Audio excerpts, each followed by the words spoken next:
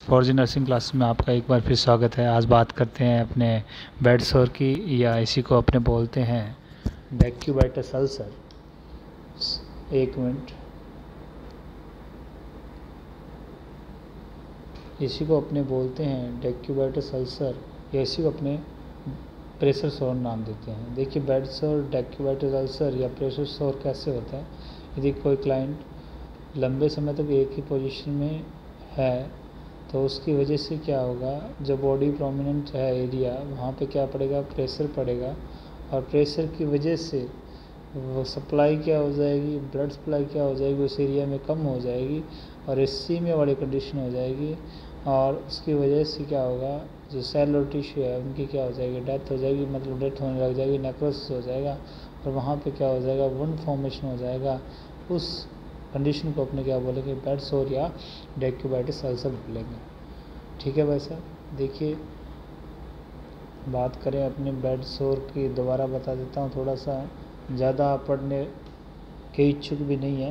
Bed sore decubitic ulcer pressure sore client लंबे lying on the same position for prolong period, इसकी वजह से क्या होगा? देखिए कौन कौन सी कंडीशन में प्रॉब्लम बेड रेड पेशेंट है? पैरालाइज हुआ है फ्रैक्चर है, उन कंडीशन में पेशेंट लंबे समय तक बेड पर होता है और प्रेशर पड़ेगा बॉडी प्रोमिनेंट पे ब्लड सप्लाई डिक्रीज़ होगी। तो ब्लड सप्लाई डिक्रीज़ होगी तो टिश्यू की डेथ होगी सेल टिश्यू डेथ होगी, वहाँ पे क्या हो जाएगा? वंड फॉर्मेशन हो जाएगा डेक्यूबाइटिस होगा। देखिए मेन कारण क्या रहते हैं? कॉजेज़ क्या रहते हैं? मेन जो कारण रहता है, वो रहता है प्रेशर ये बात आप याद रख लेना। मेन कारण क्या होगा? प्रेशर और दूसरा मॉइस्चर और फ्रिक्शन की वजह से भी क्या हो सकता है? बेड होने के चांस है। क्लियर है भैया रिस्क फैक्टर क्या होगा? माल न्यूट्रिशन पेशेंट में ज़्यादा रहेगा। चांस बेड सोर होने के अनहाइजनिक कंडीशन में भी और इन्वायरमेंटल अनहाइजनिक और अनएजुकेटेड पेशेंट में भी इलिट्रेसी के अंदर भी क्या रहेगा? बेड सोर होने के ज़्यादा चांस रहेंगे। तो मेन कॉज क्या होता है? प्रेशर रहता है। क्लियर है भाई? अब बात करते हैं डायग्नोसिस डायग्नोसिस की मैं बात करूँ तो डायग्नोसिस की मैं बात करूँ तो इसके लिए एक स्केल होता है, उसको अपने बोलते हैं ब्रेडन स्केल क्या बोलते हैं भाई? ब्रेडन स्केल इसका जो मिनिमम जो स्कोर होता है छः और मैक्सिमम जो स्कोर होता है वो होता है तेईस। क्लियर है भैया?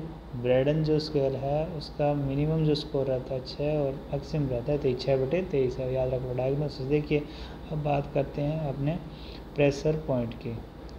प्रेशर पॉइंट के मतलब कौन कौन से जो प्रेशर एरिया है, जैसे पेशेंट कोई पेशेंट सुपाइन पोजीशन में है सुपाइन पोजीशन में है तो उस टाइम कौन कौन से प्रेशर पॉइंट होंगे जहाँ पे ज़्यादा प्रेशर लग सकता है? तो देखिए occipital area of head scapula पे लगेगा एल्बो पे लगेगा सैक्रल एरिया पे लगेगा और हेल्स पे लगेगा। जब पेशेंट सुपाइन पोजीशन में आप इमेजिन करके देख लीजिए, पता लग जाएगा आपको। उसके बाद में लेटरल पोजिशन की बात करूँ तो लेटरल पोजिशन में ear cheeks acromion process of shoulder greater trochanter side of knee and malleolus lateral. Clear है भैया? और प्रोन पोजिशन में कौन कौन से रहेंगे? और ये आप याद रख लो, ear cheeks breast in the female genital organ in the male, knee, और टॉ।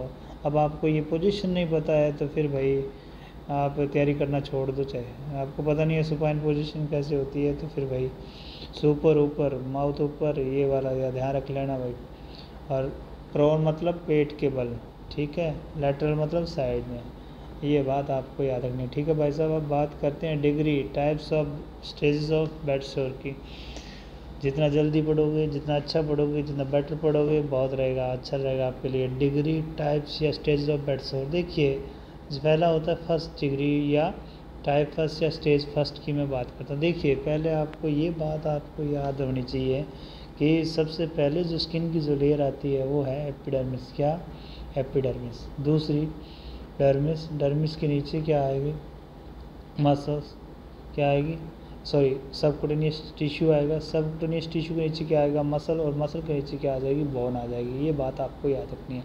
तो फ़र्स्ट डिग्री या टाइप फ़र्स्ट में क्या होगा? Only inflammatory sign symptoms show होंगे। जैसे उस एरिया पे क्या हो जाएगी? रेडनेस हो जाएगी वार्म हो जाएगा एडिमा हो जाएगा पेन हो जाएगा स्किन इंटैक्ट रहेगी, ये बात आपको याद रखना है। कोई भी लेयर अभी डैमेज नहीं हुई है, इस बात का आपको ध्यान रखना है। ओनली क्या हुआ है? ओनली रेडनेस वार्म एडिमा और पेन स्टार्ट हुआ है। कोई भी लेयर का डैमेज नहीं हुआ है। स्किन इंटैक्ट है अभी भी, ठीक है? क्लियर है भैया? टाइप फ़र्स्ट में टाइप सेकंड की मैं बात करूँ। किसकी बात करूँ? टाइप सेकंड की मैं बात करूँ तो देखिए टाइप सेकंड में क्या होगा? टाइप सेकंड में जो एपिडर्मिस और डर्मिस है, वो क्या हो जाएगी? ब्रेक डाउन हो जाएगी। ये बात आपको याद नहीं कौन सी? एपिडर्मिस और डर्मिस ब्रेक डाउन हो गई, लेकिन सब कोटेनियस टिश्यू अभी तक विजिबल नहीं हुए हैं। ये बात आपको याद रखना है। ठीक है? यहाँ पे भी क्या है? पेन रेडनेस सिक्रीशन आने लग जाएँगे। क्लियर है भाई? देखिए एपिडर्मिस और डर्मिस जो इमेज हो गई, वो क्या है? सेकेंड डिग्री है। लेकिन सब कोटेनियस टिश्यू अभी तो विजिबल नहीं हुए थर्ड थर्ड स्टेज की मैं बात करूँ थर्ड डिग्री की तो third degree type of bed sore में क्या होगा? एपिडर्मिस भी गई डर्मिस भी गई और कम्प्लीटली सबकुटेनियस टिश्यू भी विजिबल हो गई। मतलब तीनों ही गई अब। कि कौन सी एपिडर्मिस डर्मिस और सबकुटेनियस टिश्यू क्या हो गए? विजिबल हो गए थर्ड में। और फोर्थ एंड लास्ट जो स्टेज है, उसके अंदर क्या होगा? एपिडर्मिस भी गई डर्मिस भी गई सबकुटेनियस टिश्यू भी डैमेज हो गए। अब क्या है? जो बोन मसल टेंडन वो अपने को दिखने लग जाएँगे विजिबल हो जाएँगे। उस उस स्टेज को अपने क्या बोलेंगे? Four stage of bed sore clear है भैया? बिल्कुल सिंपल तरीके से आप याद रख लेना। फ़र्स्ट में क्या होगा? फ़र्स्ट में कोई भी लेयर क्या है डैमेज नहीं होगी? कोई भी लेयर डैमेज नहीं रहेगी। इंटैक्ट रहेगी। क्या रहेगी? फ़र्स्ट में क्या रहेगी? फ़र्स्ट स्टेज में स्किन की जो लेयर है वो इंटैक्ट रहेगी। सेकंड में क्या होगा? सेकंड में एपिडर्मिस और डर्मिस जाएगी, लेकिन सबकुटिनियस टिश्यू विजिबल नहीं होंगे। थर्ड में क्या होगा? एपिडर्मिस भी गई डर्मिस भी गई और सबकुटिनियस टिश्यू क्या हो गए विजिबल हो गए फोर्थ में क्या हो गया? एपिडर्मिस गई डर्मिस गई। सबकुटेनियस गए और उसके बाद में मसल और बोन भी विजिबल हो गए। क्लियर है भैया? नेक्स्ट अपने बात करते हैं assessment of bed sore bed sore का असेसमेंट कैसे करते हैं? तो मैंने बता दिया था आपको कौन सा स्केल यूज़ करते हैं ब्रेडन स्केल यूज़ करते हैं। कौन सा? ब्रेडन स्केल देखिए, जितना अच्छा पढ़ोगे, उतना आपके लिए बेटर है। बार बार रिवीजन बहुत ज़रूरी है वैसा यदि आप रिवाइज नहीं कर पा रहे रिवीजन नहीं कर पा रहे तो बहुत गलत बात है। रिवाइज करना बहुत ज़रूरी है। बार बार याद करना बहुत ज़रूरी है। सिंपल सिंपल जो क्वेश्चन होते हैं, आपके गलत हो जाते हैं और वहाँ से आप एग्ज़ाम में पीछे चले जाते हैं। क्लियर है भैया? असेसमेंट असेसमेंट की मैं बात करूँ बेड सोर के तो देखिए ब्रेडन स्केल मैंने बताया था। मिनिमम जो पॉइंट रहेगा, छः और मैक्सिमम रहेगा। तेईस। क्लियर है भैया? इसके कंपोनेंट क्या होंगे? एम एस फ़ैन आपको याद रखना है। क्या याद रखना है? एम एस फ़ैन मतलब एम से मॉइस्चर एम से मॉइस्चर एस से सेंसरी एस से सेंसरी परसेप्शन और एफ़ से फ्रिक्शन एफ़ से क्या आ जाएगा? फ्रिक्शन ए से क्या आ जाएगा? एक्टिविटी एन से क्या आ जाएगा? न्यूट्रिशन तो ये आप फॉर्मूला याद रखना। एम एस फेन क्लियर है भैया? अब देखिए इसमें उल्टा सीधा लिखा हुआ है, कोई बात नहीं मॉइस्चर की मैं बात करूँ मॉइस्चर में एक से चार के बीच नंबर होंगे। कितने होंगे? एक से चार। एक्टिविटी के अंदर कितने होंगे? एक से चार के बीच नंबर न्यूट्रिशन में भी एक से चार मोबिलिटी में एक से चार। फ्रिक्शन में भी अभी फ्रिक्शन में क्या रहेगा? फ्रिक्शन में एक से तीन नंबर रहेंगे। और इधर सेंसिटिव जो परसेप्शन है, उसके अंदर कितने रहेंगे? एक से चार। तो टोटल कितने हो गए? ये काउंट कर लीजिएगा टोटल कितने हो गए? चार छिका चौबीस और एक यहाँ पे क्या फ्रिक्शन में काउंट कम हो गया तेईस और ये कितने पॉइंट्स हैं? छः पॉइंट्स है तो छः बटे तेईस। Clear range of Braden scale की मैं बात करूँ छः बटे तेईस रहती है नॉर्मली अब देखिए, बात करते हैं कि कितना स्कोर आएगा तो कितना, क्या, कितना बेड स्कोर की कंडीशन रिस्क है? तो देखिए, यदि नौ है और नौ से कम आ रहा है, नौ है और नौ से कम आ रहा है तो very high very high risk of bed sore bed sore का बहुत ज़्यादा रिस्क है पेशेंट को और 10 से 12 आ रहा है हाई रिस्क ओनली क्या है? हाई रिस्क का बेड शोर है 13 से 14 आ रहा है मॉडरेट रिस्क है 15 से 18 आ रहा है माइल्ड रिस्क है और जबकि 19 या 19 से ज़्यादा क्या आ रहे हैं नंबर आ रहे हैं ब्रेड स्केल के अंदर तो नो रिस्क ऑफ़ बेड शोर क्या भाई साहब नो रिस्क ऑफ़ बेड शोर आप याद रख लेना, उल्टे से लग जाना भाई 19 लग जाना 19 क्या है? नॉर्मल है 15 से 18 क्या है? माइल्ड है। ठीक है भाई साहब? पंद्रह से अठारह क्या है? माइल्ड है। तेरह से चौदह क्या है? मॉडरेट है। और भाई साहब, दस से बारह क्या है? हाई रिस्क और नौ से कम क्या है? वेरी हाई रिस्क क्लियर है भैया? याद रख लोगे? बहुत ही सिंपल तरीके से आप याद रख लेना। एम एस फेन आपसे पूछ लेता है कि भाई साहब, कौन सा कंपोनेंट ब्रेडन स्केल के अंदर नहीं है? किसने दिया था? ये यहाँ पे लिखा हुआ है। ब्रेडन ने दिया था उन्नीस सौ सतासी के अंदर। क्लियर है भाई? और यहाँ से क्वेश्चन एक पक्का बनता है और मैं बता देता हूँ, यहाँ से आपसे पूछेंगे कि स्कोर बैडन पंद्रह से अठारह आ रहा है तो बताइए क्या है माइल्ड रिस्क और उसका तेरह से चौदह आ रहा है मॉडरेट दस से बारह आ रहा है हाई रिस्क और नौ से कम आ रहा है वेरी हाई रिस्क क्लियर है भैया? नेक्स्ट बात करते हैं prevention of bed sore prevention of कैसे रोक सकते हैं बेड सोर को? आपको क्या करना है? पोजीशन को एवरी टू आवर पेशेंट की क्या करना है? चेंज करना है।